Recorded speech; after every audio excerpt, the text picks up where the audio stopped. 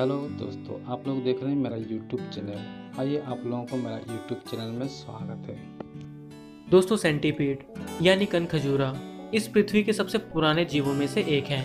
सूत्रों की माने तो इन जीवों के कुछ जीवाश्म भी पाए गए हैं, जो 400 मिलियन वर्षों से भी ज़्यादा पुराने हैं। ये कन खजूरे दुनिया के लगभग हर हिस्सों में पाए जाते हैं, लेकिन सबसे ज़्यादा ये उष्णकटिबंधीय वाले जगहों में पाए जाते हैं। अगर बात करें इनके आकार की तो सामान्य कन खजूरे जो हम अपने घरों के आसपास देख लेते हैं, वो लगभग डेढ़ से दो इंच तक लंबे होते हैं। लेकिन इस दुनिया में कन खजूरों की बड़ी प्रजातियाँ भी पाई जाती है, जिनका आकार लगभग 12 इंच तक होता है। अगर ये कन खजूरा किसी को काट ले तो उससे चोट लग सकती है, लेकिन उसके मुँह में जहर नहीं होता, बल्कि इसके खतरनाक पंजों में जहर होता है। अगर ये अपने शिकार को पंजों में जकड़ ले तो थोड़ी ही देर में उसे लकवा मार जाता है।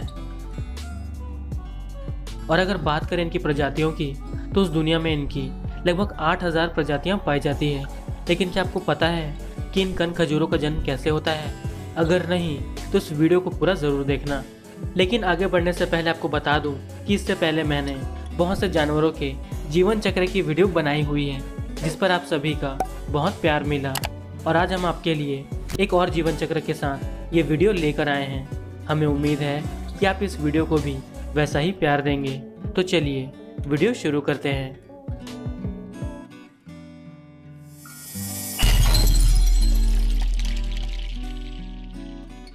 दोस्तों कन खजूरे एक ऐसे जीव हैं जो अकेले रहना पसंद करते हैं। लेकिन जब इनके मिलन का समय आता है तो ये अपने साथी की तलाश में निकल पड़ते हैं। और जैसे ही इन्हें कोई साथी मिल जाता है, उसके बाद ये दोनों कन खजूरे जिनमें एक नर और मादा होती है।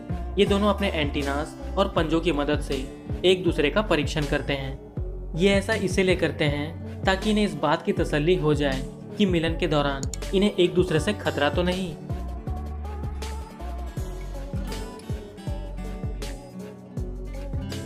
और जैसे ही इन्हें इस बात की तसल्ली हो जाती है, उसके बाद ये मिलन की प्रक्रिया शुरू कर देते हैं। जैसा कि आप देख सकते हैं, और इनका ये मिलन कुछ मिनटों का होता है। ये मिलन तब तक चलता है, जब तक नर अपना सारा स्पम मादा के शरीर में ट्रांसफ़र नहीं कर देता।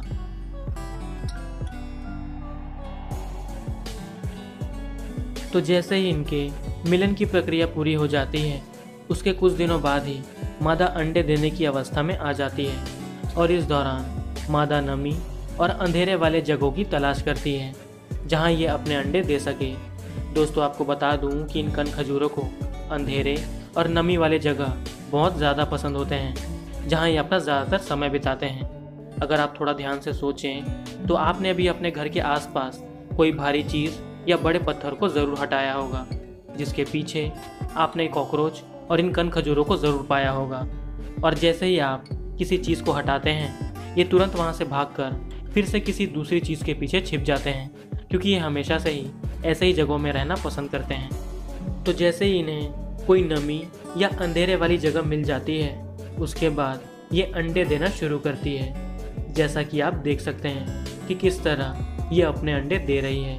इनके अंडे बहुत ही छोटे और गोल होते हैं और ये एक बार में 25 से 30 अंडे दे देती है।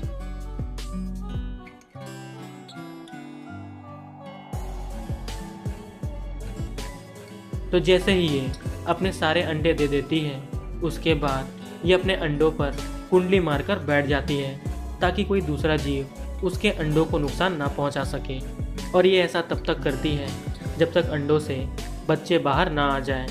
आपको बता दूँ कि बच्चों को बाहर आने के लिए दो से तीन हफ्तों का समय लग जाता है, और जैसे ही वो समय पूरा हो जाता है, उसके बाद अंडों से बच्चे बाहर निकलते हैं, और इन बच्चों को निम कहा जाता है तो जैसे ही इन बच्चों का जन्म हो जाता है तो ये बिल्कुल वयस्क कन खजूरों की तरह ही दिखाई देते हैं।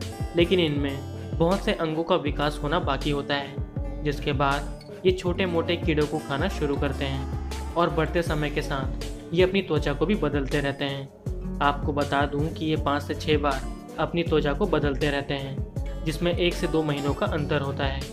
और जब जब ये अपनी त्वचा को बदलते हैं, तब तब इनके नए अंगों का विकास होता है। और जैसे जैसे समय और आगे बढ़ता जाता है, ये बड़े कीड़ों को खाना शुरू करते हैं। और इस तरह, ये एक से दो सालों में पूरी तरह से वयस्क हो जाते हैं।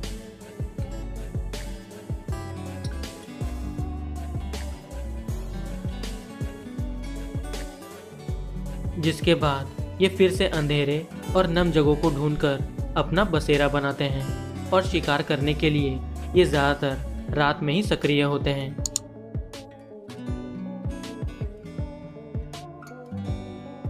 और जब ये शिकार करते हैं तो ये पत्तों के बीच या चट्टानों के नीचे छिपे रहते हैं।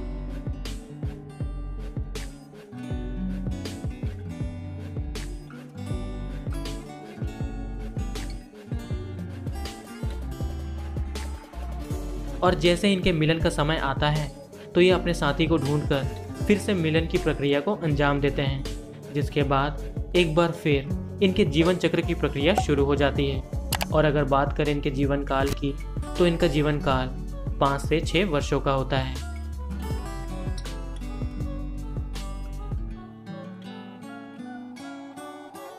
तो दोस्तों, उम्मीद करता हूँ कि आपको ये वीडियो पसंद आई होगी। अगर आपको वीडियो अच्छी लगी तो इस वीडियो को लाइक, शेयर और चैनल को सब्सक्राइब कर दीजिए। और इसी तरह की वीडियो देखने के लिए स्क्रीन पर आ रही वीडियोस या फिर डिस्क्रिप्शन में दिए गए लिंक को चेक कीजिए। मिलते हैं अगली वीडियो में। तब तक के लिए बाय।